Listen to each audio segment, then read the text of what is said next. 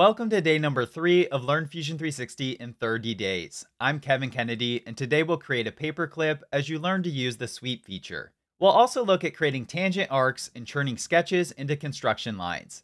Let's get started by quickly saving our design file. The sweep command allows you to create a 2D shape that follows an open or closed sketch path. We'll start by drawing the path of a paperclip, followed by the circle profile. Start by creating a new sketch on the top origin plane as if our paperclip is lying flat on a table. Remember, Fusion 360 will automatically reorient the sketch plane so we're looking directly at it. We'll first sketch a straight line that starts at the origin point. Activate the line command from the toolbar or with the keyboard shortcut letter L as in Lima.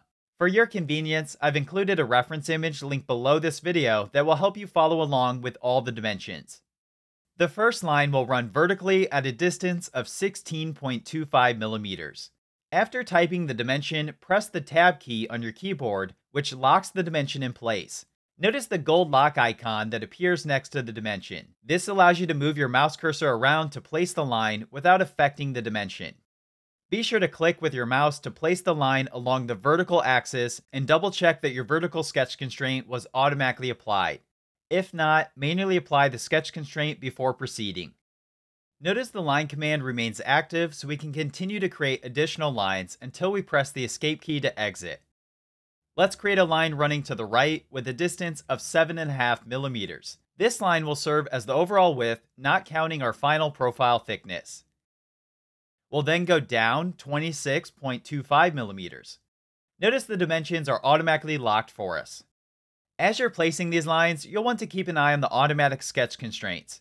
Make sure your lines are snapping to the correct vertical or horizontal axis. This may be applying perpendicular constraints to the previous line, which is okay as it will provide us with the same result.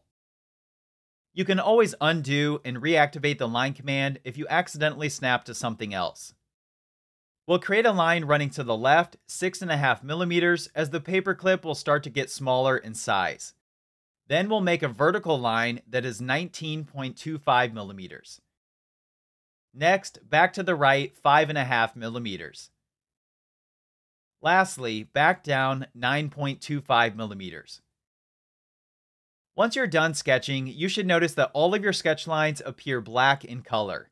The black lines, instead of light blue, help us know that they're fully constrained and dimensioned. Fully constrained means they will not move or update unless you change the constraints or dimensions. You can also toggle open the Sketches folder in the browser.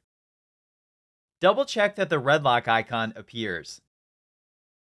This lock icon confirms that the sketch is in fact fully constrained, which is a concept that we'll discuss in its own lesson later in the course. We now have the basic framework for our paperclip shape, however, we still need to add the rounded edges. The three lines that run horizontally are not necessary for our sweep path. However, they've helped us apply dimensions for the width of each area, as well as allowed us to keep sketching lines without having to reactivate the line command each time.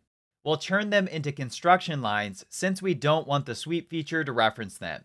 Hold the shift key and select the three horizontal lines. This will allow us to select the construction line type in the sketch palette. Notice construction lines are distinguished by dashed lines. At any time during the sketching process, you may want to move dimensions so they're not in the way. Click and drag them around to reposition them. This is never required, but can help you better understand what's going on. We're now ready to add the rounded ends for the paperclip sweep to follow. We'll use the tangent arc command from the create menu and the arc folder. Once active, we'll select the two endpoints where our dash construction lines run.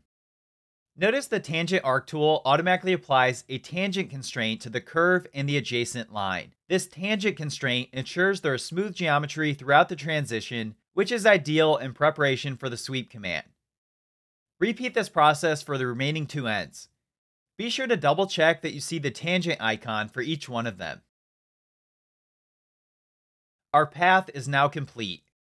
Take a minute to rename the sketch in your Fusion 360 browser. Click the name once to select it and a second time to edit the name. Naming your sketches and other assets is a great habit to form and will make parametric modeling easier in the future. We can select Finish Sketch and zoom in on the paperclip outline. In order to create a sweep that follows this paperclip shape, we'll need to draw the sketch profile that will follow the entire path. In this case, our sketch profile will simply be a circle as a paperclip is a round piece of steel wire bent into the loop shape. Turn the origin folder on in the browser if it's not already on. We'll create a new sketch on the front origin plane, which is perpendicular to the path we just sketched. I prefer to right click on the origin plane followed by Create Sketch. However, you may also activate Create Sketch in the toolbar followed by selecting the origin plane. We'll sketch a center circle starting at the origin point. Press the keyboard shortcut letter C as in Charlie to activate the center circle command. Select the origin point and define the desired thickness of your paperclip. Generally, a paperclip is 0.5 to 1 millimeters in thickness. I'll make mine 0.75 millimeters. We can also turn off the origin folder for now. I'll also take a few seconds to rename the second sketch in the browser. Looking at the model from the home position, we now have everything we need to complete a sweep. The sweep command is located in the create menu of the solid modeling tab.